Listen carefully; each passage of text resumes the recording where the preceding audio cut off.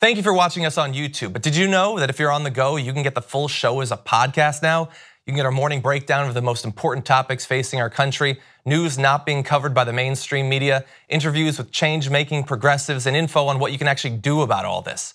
Search for the Damage Report on your favorite podcast app and subscribe so you know when new episodes are ready to go.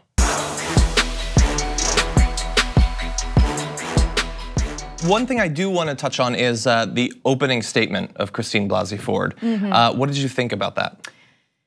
I underestimated how difficult it would be to listen to her opening statement, and you can really hear the pain in her voice. And what I thought was, you know, interesting was the reaction from people on social media. I think the vast majority of reporters and, of course, people on the left uh, were horrified at the accusations, felt a lot of empathy for her or sympathy for her.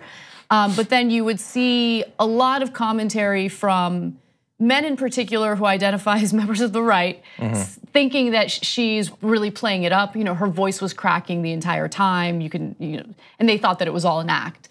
But what I love is it seems as though um, on the down low, there are some Republican lawmakers who are concerned about how credible she sounds, including possibly the president of the United States. Yeah. Yeah, so we're gonna get to that in a minute. Um, I also wanna say, uh, I, I don't know how you can have listened to her talk about it and think, yeah, she's lying. Yeah, well, Who Who's that good of an actress? It's not Meryl Streep testifying. During- she's not lying. during the live coverage, uh, TYT coverage of the hearing, Cenk said something that I think is really important because he talked about how he viewed the Anita Hill testimony through a very specific lens, and that lens was through a conservative lens. Mm-hmm. And when you do that, you look for anything that could possibly reinforce your preconceived notions. Yeah. And I think it's important to keep that in mind. Now, there are people who listen to that and they thought, "Oh, she's she's just acting. I don't find her credible." Mm-hmm. But my gut instinct, and, and again, I don't have numbers. We don't have numbers. We don't know for sure what percentage of people believe her. But from what I'm seeing out there, most people seem to believe her. I think so too. Um, I mean, there will be some people who, I mean, they're not going to believe anything. And it's not like they think she's lying. That implies that they're thinking. They just say that she's lying. Right. And they don't care. They just don't care.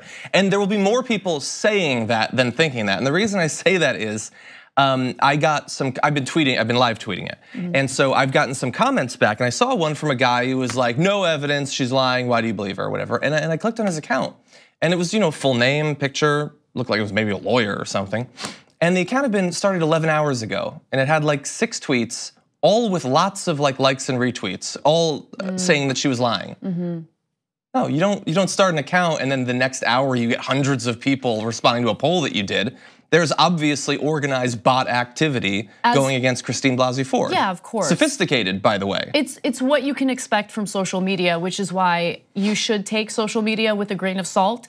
Um, you should make sure that you're following people who are verified when you're getting your information, or at least when you're getting you know hot takes or opinions, because there is a lot of manipulation going on. I'm I'm seeing that as well, and it's really it's sad. It's sad because right now, um, you know, any effort to try to sway public opinion in either one way or the other using these manipulative tactics is just disgusting. This is a serious case. Yeah. First off, it's serious in that, you know, Brett Kavanaugh could be the next Supreme Court justice who hands down decisions that affect all of our lives. And it's also serious because there is a possible sexual assault victim involved, possibly several sexual assault victims involved. This shouldn't be about politics. Unfortunately, it is. Unfortunately, we are seeing politics on both sides. But I want everyone to just get rid of your political leanings and just try to look at this through the lens of someone who is making a serious accusation against Yeah. someone else who will be making big decisions about our lives. Yes. As we keep coming back to, he will be given as much power effectively as anyone else in the world has. More. Right. Than almost anyone else. The president has more temporarily, but then in two or six more years, the president's gone. He'll still be there. He'll be for decade after decade. He'll be making all those kids you see that, that he brought. They'll be grown women, and they'll still be affected by the decisions of um, of Kavanaugh. Thank you very much for watching this clip from the Damage Report. If you liked it, don't forget to subscribe to this channel and ring the bell on YouTube to get notifications of our new videos. And of course, you can catch the full damage report live every weekday at 1 p.m. Eastern, 10 a.m. Pacific on TYT Network on YouTube TV.